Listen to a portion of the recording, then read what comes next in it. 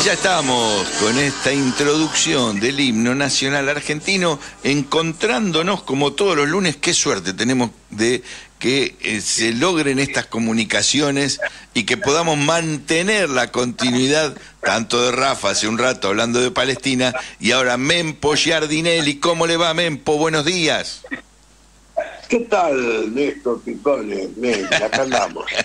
Bien, bueno, también Federico y toda la, Toda la banda. la pandilla ahí, este, trabajando en las mañanas como siempre. Un gustazo, a tus órdenes. Bueno, no, hoy tenemos, como siempre, el comentario sobre tu columna eh, acerca de la remilitarización de la Argentina y un trabajo que también accedimos de Carlos Silvestri de Chubut, hablando sobre cómo este gobierno este, va avanzando hacia esa militariz- militarización y vos destacás tanto lo de Silvestri como un trabajo de otro querido compañero, este, Jorge Luis Bernetti, que ha hecho un trabajo que me gustaría que comentes y ver cómo los oyentes y las oyentas pueden acceder a ese trabajo, porque es realmente muy interesante. El tema de la defensa no es un tema habitual, parece que quedara eh, este, expuesto solamente en manos de militares o de especialistas y no popularizar una discusión tan importante como es el rol de las Fuerzas Armadas. Es exactamente como vos decís, este, en realidad, esta idea que está. Bueno, es una idea que tiene que ver con, con la historia argentina. En realidad, el protagonismo militar en la Argentina, en nuestro país, siempre ha estado desde los tiempos de la colonia. Es decir, eh, no olvidemos que, eh, José de San Martín y Manuel Belgrano fueron de alguna manera los creadores de una, digamos, de, una nación que se independizaba, que necesitaba independizarse y que necesitaba ejército. Y las grandes batallas que se dieron para, para la independencia las encabezaron ellos. Después hubo toda una, una corriente militar muy fuerte, en varios sentidos, digamos, que se dio a partir de ahí. Bueno, es una historia larga la que tenemos, ¿no? La Valle, Dorrego, en fin, de Rosas, hay mucho, hay mucho para ver que el siglo XIX fue un siglo muy intenso en materia de, no porque la Argentina fuera o, se hubiera pensado en aquel entonces que íbamos a ser una nación bélica, pero ya la Argentina nunca fue una nación agresora ni, decir, somos un país de paz, somos un país de, en todo caso, de recepción de, los pueblos de todo el mundo, así se formó la, la, argentinidad, guste o no guste, esto es lo que somos, es decir, los italianos, los judíos, los rusos, los franceses, los gringos, los ingleses, lo sea, todo se fue formando alrededor de una concepción, digamos, democrática, pero al mismo tiempo, por quizá por la, por, la extensión de nuestro territorio, por la importancia de nuestro territorio, siempre tuvimos una, digamos, una, una responsabilidad militar que fue importante. Y esto, esto sí hay que tenerlo como un factor, este, yo creo, un factor de orgullo para nosotros en la Argentina. La Argentina fue un país siempre bien cuidado eh, por sus Fuerzas Armadas a lo largo de eh, dos siglos y pico. Por supuesto que al decir esto no ignoro que después vinieron las taras de esto, que las hubo y que fueron gravísimas. Argentina no fue un país agresor jamás, pero es un país que en el cual internamente hemos tenido este, corrientes muy este, diría muy traidoras, mucha, este, muchos intereses extranjeros, foráneos, de los peores y de los menos peores, este, Mm. que de alguna manera hicieron que la, la- la- la industria argentina militar se desarrollara, que fue muy importante en determinado momento y hoy desgraciadamente no lo es, porque la Argentina sí necesitaría tener una buena industria militar, que podría ser hasta un, un buen factor, digamos, de, de- de ingreso de divisas, sería factor de riqueza y de trabajo, ni se diga. Pensemos que la Argentina fabricaba tanques de guerra, fabricaba este, aviones, fabricaba todo tipo de, de implementos militares, etcétera, y que se hubieran podido, eh, en vez de, eh, eh, digamos, mal malinterpretarse internamente, se hubieran podido exportar. La Argentina pudo ser, tuvimos una industria de ese tipo que hubiera sido una gran fuente de divisas y de trabajo para argentinos y argentinas. Entonces, toda esta complejidad, que después obviamente estalla con las dictaduras, con el proceso que empieza desdichadamente en 1930, cuando este, Landiburu, este, lo digo con toda franqueza, José Félix de Landiburu, maldito sea y que nunca va a regresar, fue el que inició toda, digamos, una corriente de golpes militares, de autoritarismo y demás, y de cooptación también de la Corte Suprema de Justicia. Pensemos que la primera Corte Suprema de Justicia que está al servicio de las dictaduras ha sido la, la que está de 1930 amparada por este por, eh, eh, por, primero por José Félix Uriburu y después este, por este Agustín Pedro Justo. Bueno, todo esto que desata una historia moderna muy compleja en la que digamos que la, la, la, la, la situación de la Argentina como país productor, como país industrial, como país de, de, paz al mismo tiempo, pero que podía perfectamente haber sido una gran nación este, de producción bélica, como son muchos otros países que no están en guerra, que nunca han estado en guerra, pero que fabrican armas, esto la Argentina lo hubiera podido hacer. Y la verdad es que quizá todavía estemos a tiempo, no con el gobierno actual, desde luego, pero el futuro gobierno yo, yo creo que es una que es una, una perspectiva que, que vale la pena. En ese sentido, el artículo que yo escribí hoy no es que esto te lo cuento a vos y se lo contamos a los estudiantes, pero el artículo mío de hoy más tiene que ver con, digamos, con eh, una, una, una, una posición de alguna manera incómoda de la Fuerza Armada, porque en realidad hoy en la Argentina nadie sabe muy bien cuál es el rol de la Fuerza Armada, cuál debería ser.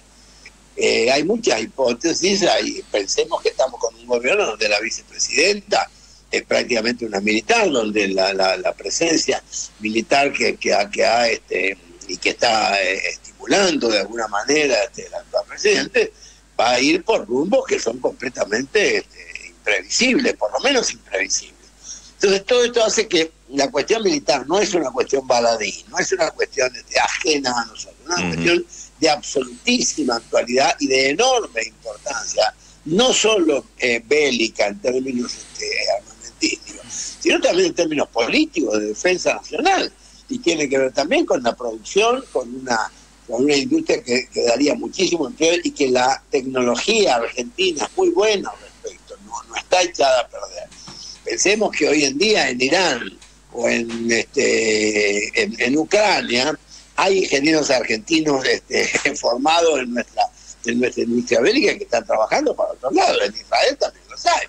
Es decir, la, industria argentina este, fue de excelencia en este sentido. Y yo espero que se pueda, no con estos tipos, desde luego, pero como yo pienso que esto es una, es una, una pesadilla que va, va a pasar, yo después quiero imaginar una Argentina este, dentro de unos años, una Argentina en la cual la industria bélica sea una industria muy importante, no por la, por la agresividad que Argentina nunca tuvo ni va a tener, porque somos y seremos y seguiremos siendo un país de paz, pero sí por, la, por las divisas que esto puede significar y por la cantidad de empleo que genera una industria bélica. Yo creo que este es, un horizonte que no, no está pensado, no hay quien lo piense en Argentina, no hay ningún político que te diga esto, no hay nadie que se ponga a analizar o a pensar, y yo creo que es hora de que empecemos a hacerlo. Y en este sentido, mi artículo de hoy lo que lo, lo que lo que mm, fíjate vos que ni estoy proponiendo ni estoy condenando estoy razonando la perspectiva de una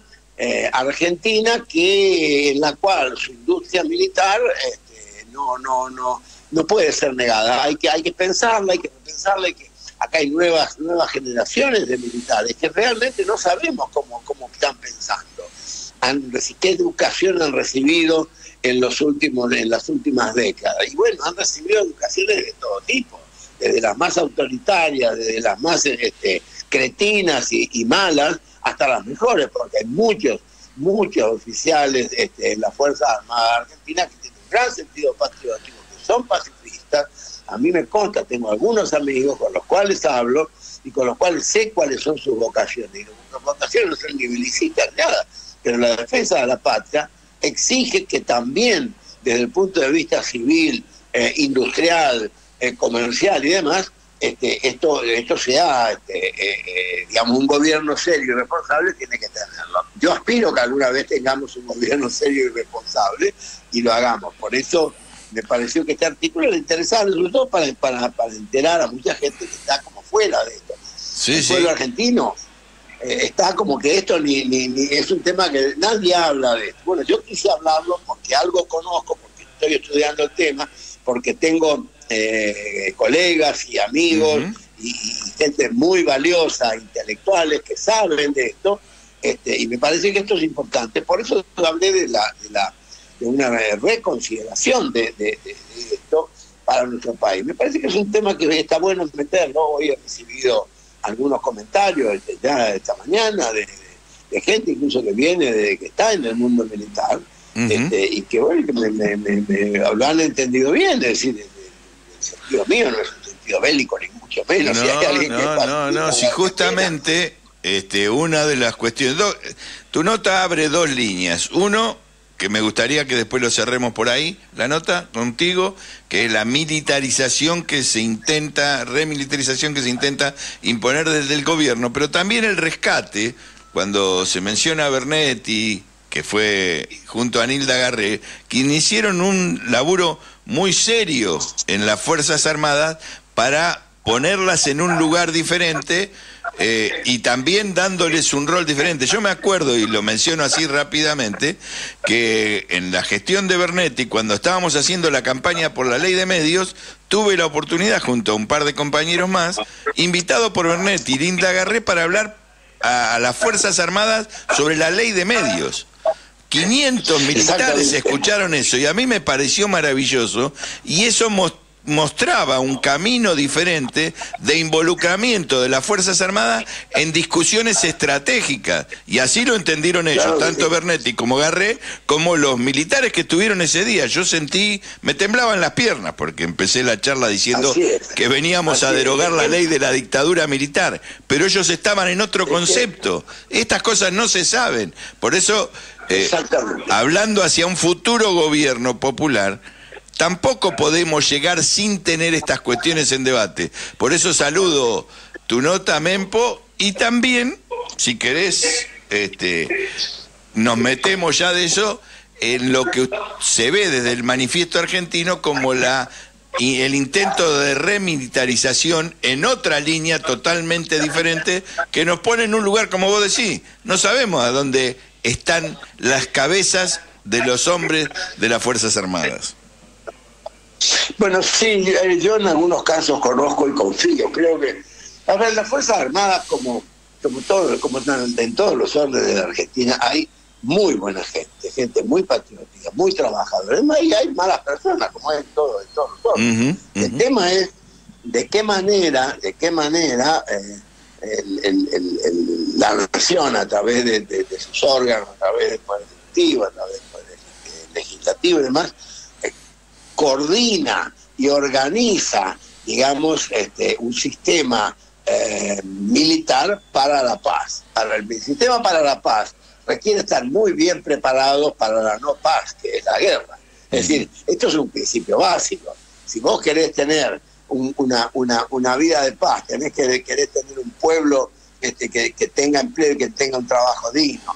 Si querés desarrollar tecnología y demás, tenés que tener necesariamente también, así como tenés que tener una industria para, para, para el, arroz, para el trigo, para la soja, para fabricar coches, tenés que tener una industria bélica preparada en función de la paz. Esto la Argentina lo supo hacer durante mucho tiempo, eso fue uno de los grandes méritos del general Perón, sin ninguna duda a partir de General Perón fue que la Argentina llegó a tener casi una potencia bélica sin haber agredido jamás a nadie. Yo creo que este es el sentido de, de, una, de una Fuerza Armada en un país democrático como el que nosotros soñamos y vamos a volver a ser.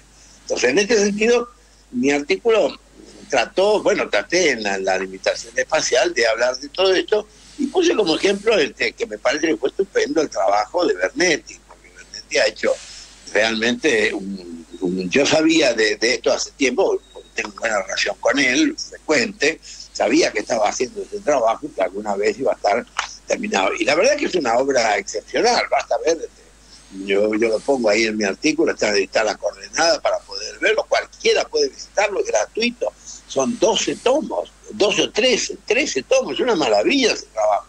Ha historiado toda la industria, la industria militar argentina, este, y la conoce en profundidad, y esto que, que no, tiene que ser un conocimiento secreto solamente de, de algunos claro. de armas, tiene un conocimiento del pueblo argentino.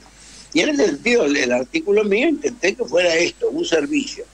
Lo que me alegra mucho es ver que, mira, toda la mañana, toda la mañana he recibido muchísimos comentarios, mensajes, este, estímulos, agradecimientos y demás, incluso de gente de armas que, algunos conozco, donde me dicen que agradecen esto porque ellos también necesitan. Los hombres de armas no son este, son que no son marcianos, son nuestros, son nuestra gente, viven al lado de tu casa, viven en otro barrio, tus hijos van a la escuela, qué sé yo. Entonces, esto hay que tenerlo como una conciencia que hay que trabajar. Yo intenté que mi artículo sea un, aporte en ese sentido, creo que el de Bermetti es indudablemente que lo es, porque sienta toda la base, es, decir, es la historia de las Fuerzas Armadas, la historia de cómo se organizaron qué hicieron, qué no hicieron, qué faltó, qué méritos tuvieron y qué, este, deméritos, qué, barbaridades también. Es decir, humanos somos y humanos hemos sido y la, construcción de una Argentina moderna va a pasar también por ahí, necesariamente. Porque además Argentina tiene una característica, Néstor, y digamos el lo siguiente.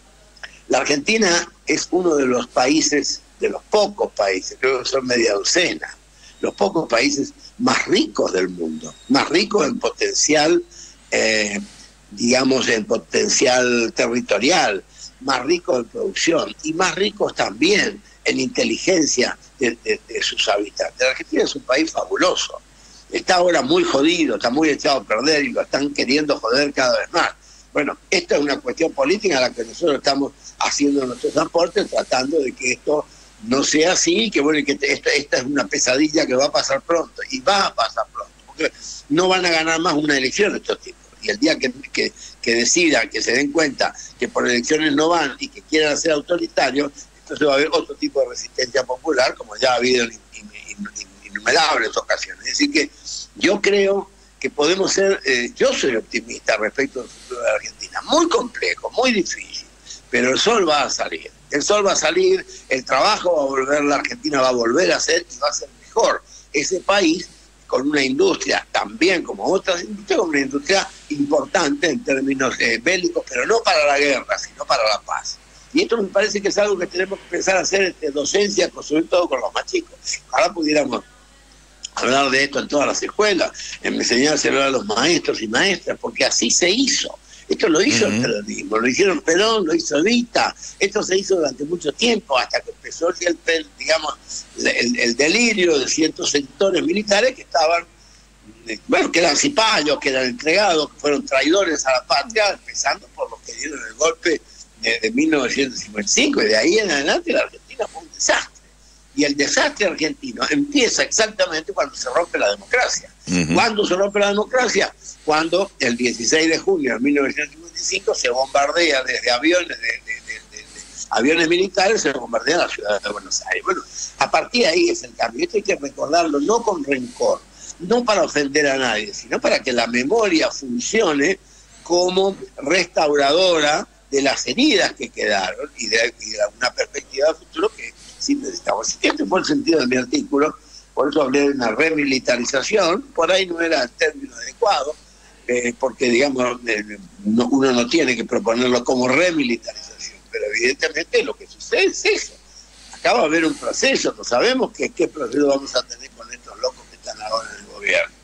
Es decir, y, cuando evidentemente hay una, acá hay una, una especie de secreta vocación autoritaria que tiene y no tan secreta que la tiene el presidente y la tiene la vicepresidenta sin ninguna duda, y que por eso van algunos, algunos de, sus, de sus diputados, una media docena de diputados, van este, a, a, lamerle las heridas este, a, a los torturadores, a los asesinos en las cárceles, bueno, todo esto que es muy grave.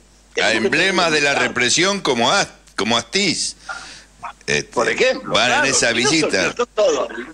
Exactamente. Entonces, yo creo que en este sentido eh, la democracia, y nosotros somos demócratas, este, tenemos que tener estas, dobles funciones, como las tenemos todos los días en nuestro programa, es decir, tenemos que hacer docencia. Esto es lo que yo llamo docencia cívica.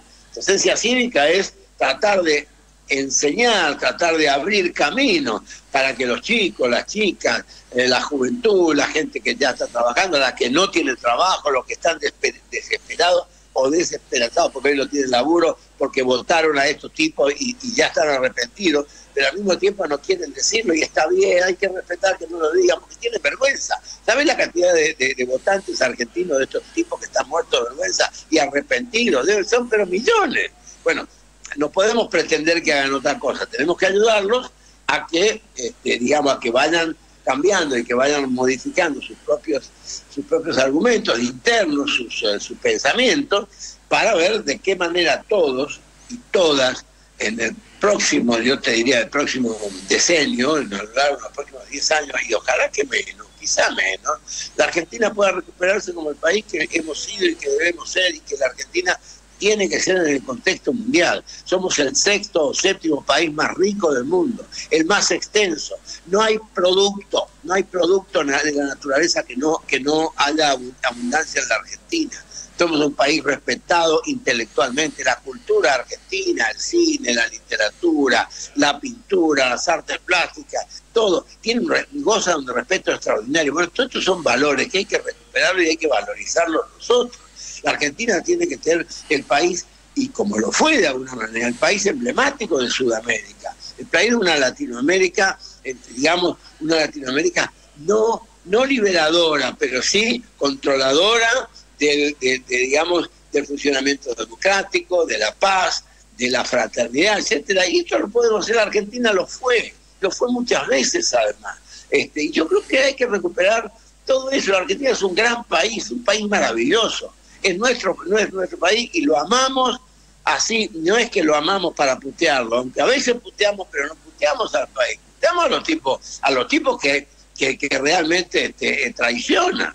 Yo siempre hablé, viste que el término cipayo, yo lo vengo trabajando desde hace años, todos mis artículos, siempre, porque creo que los cipayos, como fueron en la India, los entregadores, mirá cómo está la India ahora, como está además uno de los países más, poblados del mundo, pero de los más pobres también, donde la miseria es generalizada, y esto también tiene que ver con un cipallismo, porque los cipallos fueron, en la India, como cualquier país, los entregadores, digamos, de las virtudes de una nación, los entregadores a la, a la, en su momento a las grandes potencias, en aquel momento era, era Inglaterra, cuando la India, pero no voy a hacer la historia de la India, lo que digo es que a nosotros nos ha pasado esto y hemos tenido una, una diría yo, una, una cantidad de cipayos que se fueron metiendo en, en, todos los partidos políticos. Ojo, no es que fue solamente los sectores del peronismo, estuvo, y sigue estando lleno de cipayos, y esto también tenemos que decirlo. Los peronistas tenemos que decirlo, porque así no fue. Y, y, los cipayos que estaban al lado de Cristina y al lado de Néstor estaban también, hay que decirlo. Yo ya no me callo nada, hermano, hay que, hay que decir las cosas como son. Este, yo creo que la verdad nos hará libres, como decía aquel sabio, la verdad nos hará libres y la verdad es la que hará libre, competitiva, reorganizada, patriótica y pacífica a nuestras Fuerzas Armadas. Yo creo que este es el sentido, el objetivo de mi, nota de hoy, creo que este es el trabajo de Jorge Bernetti, es el trabajo de, Carlos Estecibés y de muchos y muchas que estamos convencidos de esto. La Argentina no tiene un destino estar hacia adentro y hacia su continente. La Argentina no es un país bélico, pero es un país que tiene que estar muy bien preparado frente a cualquier tipo de ataque de afuera. Bueno, este, este, es el sentido de una militarización como yo la estoy pensando, y no como la piensa seguramente el señor Petri o la señora Burri o qué sé yo, toda, esta, esta gente que ahora está, este, en fin está como está. Y en esa, en, esa, en esa línea reivindicamos la nota de hoy de Mempo Giardinelli porque va en, en, en los dos sentidos. En uno, en la recuperar una defensa soberana de la Argentina, que es un debate, una línea que tiene que ver con la bandera de Mempo y que compartimos del tema del Paraná, del tema del cuidado de la soberanía, para eso está el sistema de defensa, no para habilitar mecanismos como de mandar eh, militares a Ucrania o de habilitarle el, canal, el, el río Paraná a las fuerzas de Estados Unidos o la fabricaciones militares a Estados Unidos. Digo, ese es el debate que nosotros necesitamos. En todo esto. A, ver, te escucho, Mempo. Tengo algunos. Hola, Mempo. Yo, tengo algunos. Hola, sí, tengo algunos cortes de, de, sonido. No sé si me estás escuchando. Sí, sí, te escucho bien y hacemos. Estaba haciendo el cierre nomás en estas dos líneas que abre el debate de tu nota de hoy que tenemos que seguir profundizando. Te mando un abrazo también a todos los oyentes y ojalá que este, esta sea una prédica que prenda, va a aprender y que de alguna manera nos una más aún a los argentinos de bien, los que estamos trabajando, los que somos honestos, los que somos derechos, los que somos patrióticos. Un abrazo fuerte. Un abrazo grande, Mempo.